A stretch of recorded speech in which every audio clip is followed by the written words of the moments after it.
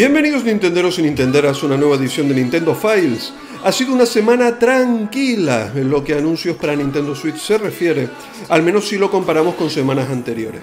Sin embargo, la propia Nintendo nos sorprendía con un lanzamiento sorpresa protagonizado por nuestro querido Kirby a mediados de semana. Durante los próximos 12 minutos repasaremos dicho estreno y muchas otras novedades que se unirán al enorme catálogo de la híbrida los próximos meses.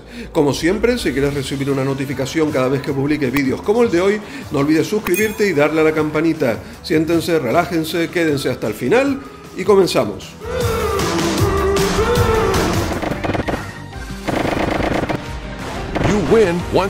Kirby Fighters 2 es el nombre del nuevo juego protagonizado por la popular bola rosa de Nintendo, en el que podremos participar en unos simpáticos combates de hasta 8 jugadores simultáneos. Kirby sacará partido a 17 de sus poderes más característicos extraídos de otros juegos de la saga, como la espada, bomba, rayo, látigo, martillo y otros tantos que le otorgarán unos ataques u otros dependiendo del poder escogido. A la hora de participar en los combates se podrá seleccionar una amplia variedad de escenarios de lo más variado. En todo momento se podrá jugar en solitario y así adentrarse en el modo historia, pero también cuenta con un multijugador local y online. Además, aquellos que tengan una partida guardada de Kirby Star Allies y Super Kirby Clash recibirán a cambio un par de trajes exclusivos. Ring a ding ding. Bell. Show off your tricks. Yo yo. Jab from afar. Stab. Get creative. Artist. Command the tide. Water. And introducing the new copy ability, Wrestler. It's power. An armed and dangerous criminal has been spotted in the area. Continuamos con varios juegos anunciados esta semana que se quedaron fuera de nuestro repaso a los lanzamientos de octubre. El primero de ellos es Ghost Runner, un título de acción en primera persona en el que tomamos el control de un guerrero cibernético que debe luchar contra una amenaza latente, tanto en el mundo real como en el mundo virtual. Con un ritmo endiablado, portamos una espada para devastar a los enemigos y numerosos gadgets para movernos de un edificio a otro de Dharma City a toda velocidad.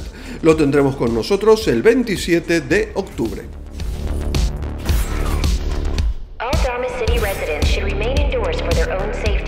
I am Optimus Prime.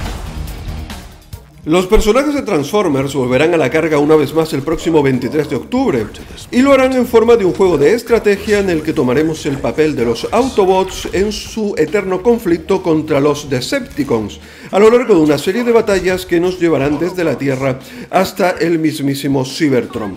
No conocemos detalles de su jugabilidad más allá del tráiler que podéis ver, que recuerda juegos como XCOM, aunque sí sabemos que tendrá opciones multijugador.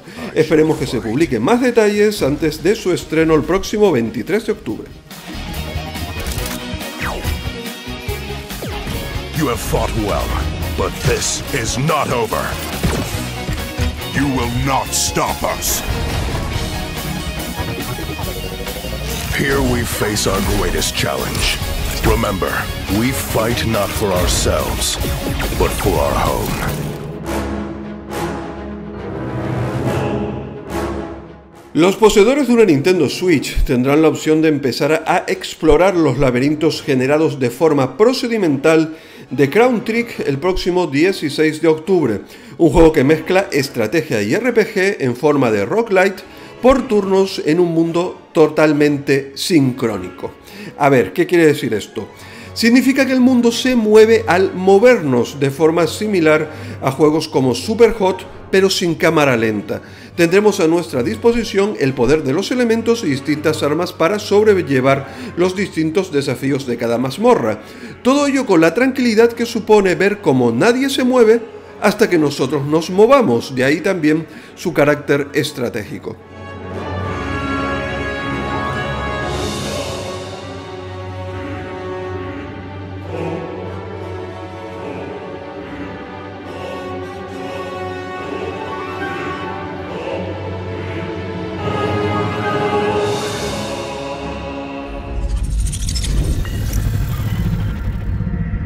Los aficionados a la estrategia futbolística tienen una nueva cita este año con la versión Touch del popular simulador Football Manager.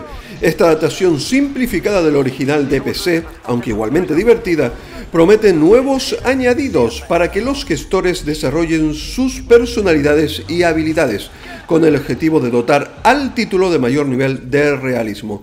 Sega y Sports Interactive han prometido que irán mostrando las diversas mejoras que tendrá esta nueva entrega desde principios de octubre a través de sus redes sociales. Les enjeux ne peuvent pas être plus importants. Der Trainer sieht sehr verärgert aus. Surely they won't slip up here tonight. El anuncio de R-Type Final 2 que se produjo en abril del pasado año supuso el regreso de una de las sagas más míticas de los Shoot the Up de scroll lateral. El título apostará por todo un espectáculo visual en pantalla con gran cantidad de explosiones y efectos de luz que resaltarán por todas partes a medida que vayamos disparando y eliminando a los enemigos. Precisamente estos se volverán más poderosos y numerosos a medida que los jugadores vayan jugando más y más partidas. De esta manera, la dificultad se establecerá en base a la habilidad de cada uno, de forma que cuantos más enemigos sean derrotados, las fases evolucionarán para resultar más complicadas.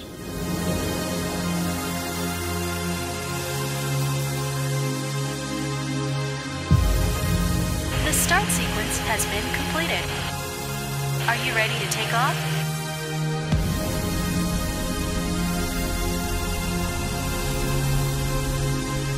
Good luck!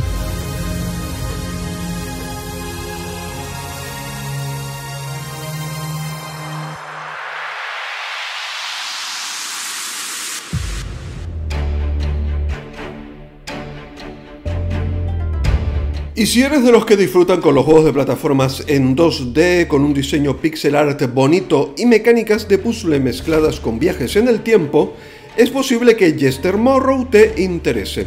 Adoptaremos el papel de una misteriosa chica llamada Yui, que debe alternar entre el desolado mundo actual y el frondoso mundo del pasado, para salvar a su familia y averiguar las causas por las que desapareció el sol e intentar revertir el proceso.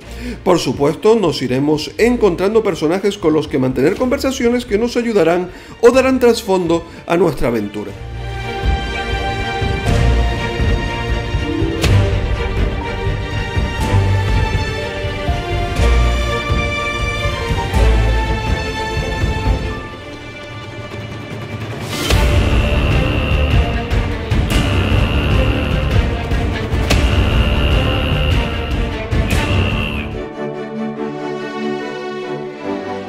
Lonesome Village es un título indie desarrollado en México que ha logrado la financiación necesaria en Quick Starter para llegar a Nintendo Switch. La premisa del mismo es mezclar puzzles inspirados en The Legend of Zelda y la simulación de vida de Animal Crossing. Adoptaremos el papel de Wes, un coyote, que ha llegado a Lonesome, un pequeño pueblo que tiene a sus habitantes secuestrados dentro de una misteriosa torre. Una mezcla interesante a priori y que esperamos que sus autores puedan llevar a buen término.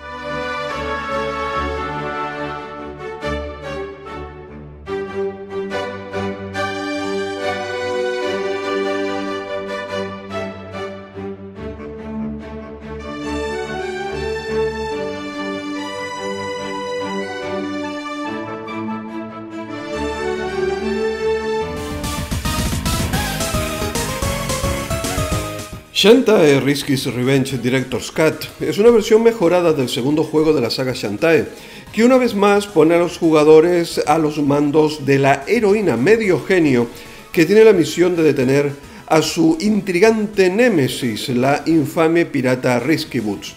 Como era de esperar, esta revisión para Nintendo Switch ofrecerá numerosas mejoras respecto a la versión clásica de 2010, incluidas características de navegación mejoradas, retratos de personajes en HD y un modo mágico desbloqueable.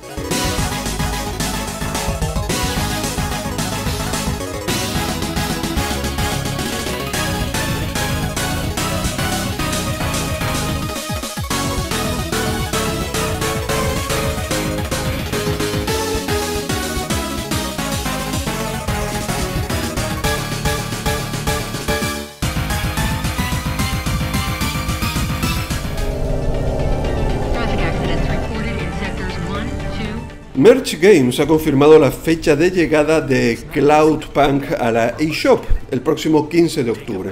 El título nos lleva a la metrópolis de Nivalis, una ciudad de estilo cyberpunk en la que interpretamos a Rania, quien debe hacer repartos semi-legales. El objetivo no es otro que el de ir a los lugares indicados con la mayor rapidez posible. La historia del juego nos permitirá explorar esta ciudad de tintes futuristas en la que nos encontraremos a personajes humanos de todo tipo, además de a diferentes androides e inteligencias artificiales. Un juego al que seguir la pista teniendo en cuenta su excelente acogida en Steam, donde acumula un 89% de reseñas positivas desde que se estrenase el pasado mes de abril. Control? Y de esta manera damos por finalizado nuestro Domingo Direct del día de hoy. Un repaso a los juegos más interesantes anunciados para Nintendo Switch la pasada semana que comenzaba el 21 de septiembre de 2020. Si les ha gustado y quieren ayudar al canal, no olviden suscribirse, darle a la campanita, compartir el vídeo en sus redes sociales o dejarse un like o un comentario. Hasta la próxima.